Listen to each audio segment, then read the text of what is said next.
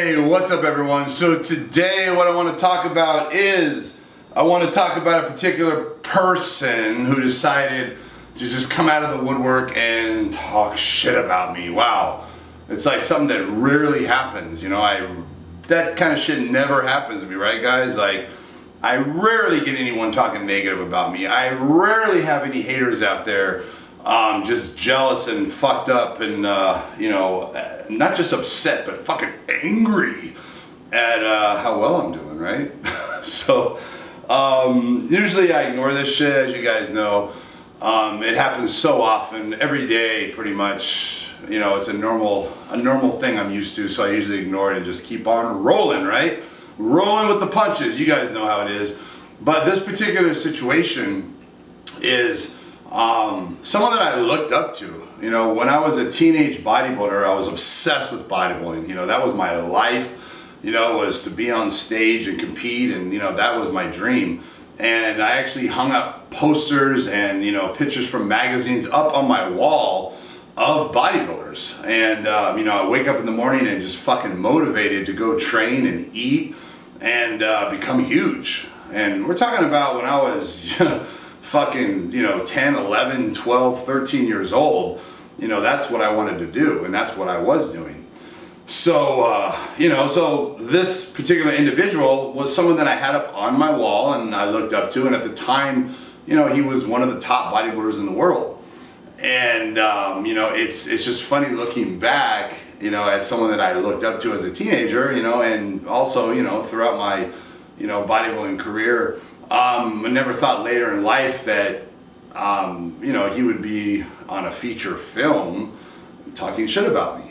so it's just it's it's kind of funny when you think about it that way. At least you know from my standpoint to think about you know this was someone I looked up to. This was someone that you know was a top bodybuilder.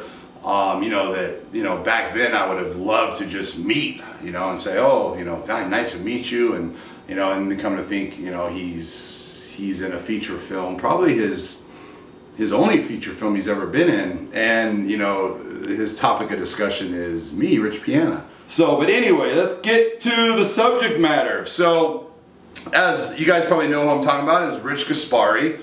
Um, a lot of people were messaging me on my YouTube channel, on my Instagram. They're like, Rich, who is the old man that's talking shit about you in Generation Iron 2? Like, who is that guy? And what's crazy to me is that um, a lot of people, they don't even realize who he is. There's a lot of false, I call them false gurus. I'm not a big fan of Rich Piana because I just think he sends out a wrong message to uh, the young millennials. There's a person that I feel, you know, hurts the industry because they show the aspects of taking, you know, the taboo part of taking the drugs, but then they're sitting there selling their products, touting that their products work and other ones don't. So basically what Rich says is, I send out the wrong message to the young millennials, okay? Also he says that, you know, I talk about the, the taboo part of the sport, you know, meaning the steroid part of the sport. Now, what is just completely mind-boggling is um, Rich Gaspari's company, uh, Gaspari Nutrition, was caught putting steroids in their supplements that people buy at a supplement store over the counter that teenagers go to the store and buy supplements that are natural and they're actually taking steroids. So Rich Gaspari was selling steroids to the young millennials. and he comes out and says that I send a bad message to the young millennials. Yet he's, wait, let me say it again, people. He was selling steroids.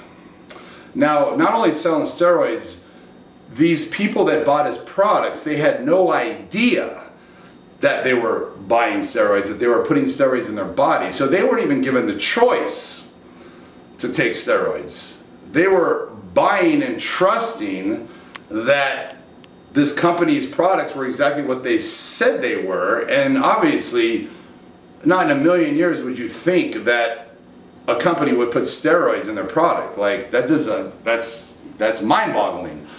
Um, so I find it crazy.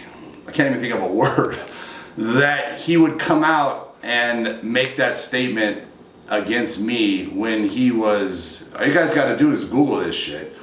You know, it's all over the internet. You know, it's it was a huge situation, and yes, he was caught putting steroids in his products. Um, what was it? Halodrol, um, Novedex, and Super Pump 250. So three products. So he also says I hurt the industry by talking about steroids. Um, as you guys know, people that follow me know that I'm talking about them because I'm trying to educate people. And as you guys know, I'm against people taking steroids. Anyone that's natural, that's thinking about taking steroids, I tell them don't. You know, don't stay natural.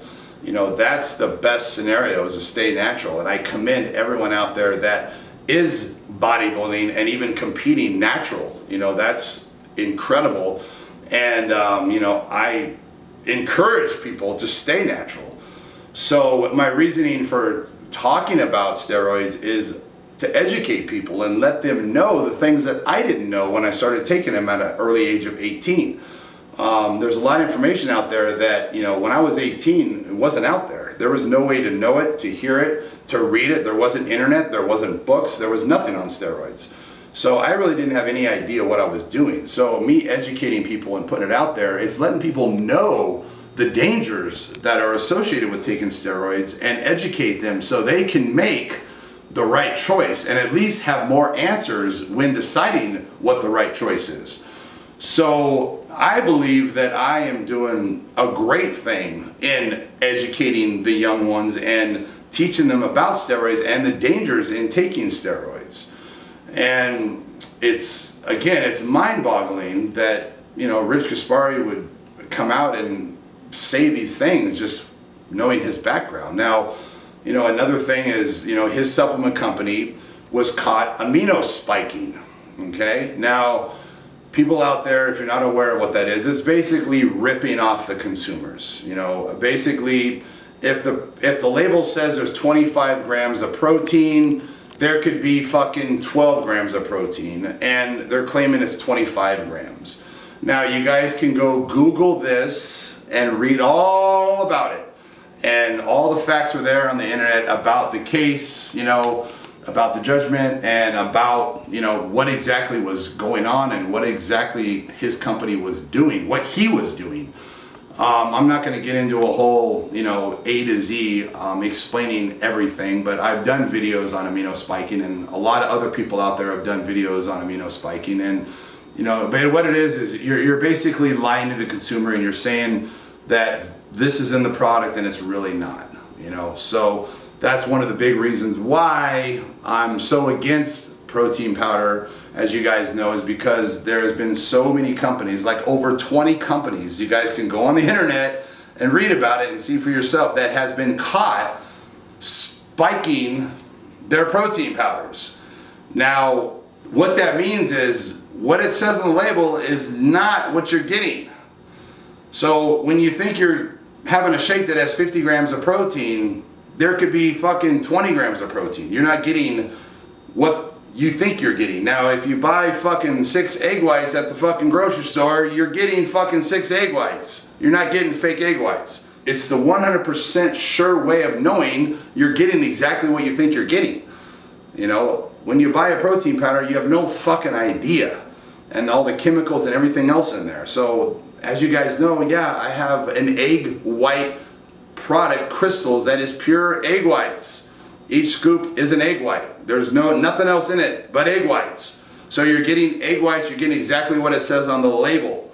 So, you know, this video isn't about marketing my product or talking shit about anyone else's products.